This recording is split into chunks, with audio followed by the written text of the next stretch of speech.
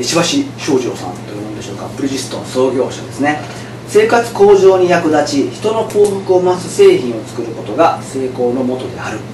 えー、生活向上に役立ち人の幸福を増す製品を作ることが成功のもとである、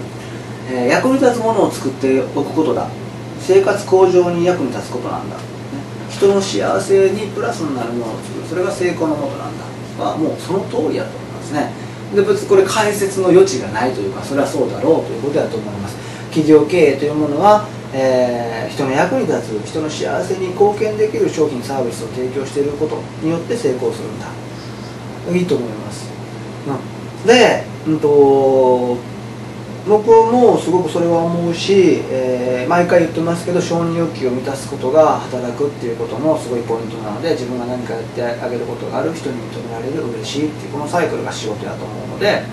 えー、会社経営もそれであったらいいしそこに自分らしさとか、えー、自分のこだわりとかいうものが乗って究極の自己満足になればそれが自己実現だよっていうのはあると思うんですね。で僕はこのことを聞いてどうやどう落とし込むか自分にどこを一番生かすかというと生活向上に役立ちっていうところに多分石橋さんの思い入れがあるのかなというふうに思ってます。ででどういうことかというとおそらく、うんと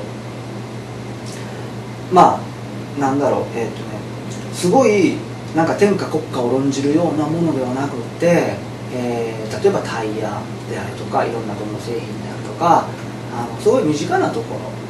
日常生活とか、えー、車なんていうのはすごい便利になっていくある意味日常生活ではあるんだけどすごい便利になっていくところ。っていうのがものすごい石橋さんのポイントやったのかなっていうふうに思うんですね。で僕はこれから受け止めることっていうのは、うんとあんまり大きなこと言いなさんなっていうかその別に大きなこと言うのは構わないし天下国家論じるのがいいんだけどうんあえて言うならばこの瞬間にもなんか、えー、世界で上に苦しんでいて、えー、あるいは戦争の中でひどい目に遭ってる子供たちがたくさんいてとかそんなことも大事やねんけどだったら地下鉄乗った時におばあちゃんに席譲れよみたいなね。そういうこう何て言うのかな。あのここの僕は生活の向上に役立ちっていうところから身近なところから手をつけたらいいんじゃないのっていうふうに僕は読み替えてるんですね。であのなんかそのことがちょっとずつちょっとずつちょっとずつ、えー、人々の幸せを増していったらすごい大きなことになって結果としてウィリストンっていうのはすごい大きな会社になったと思うしだから僕はそこをあの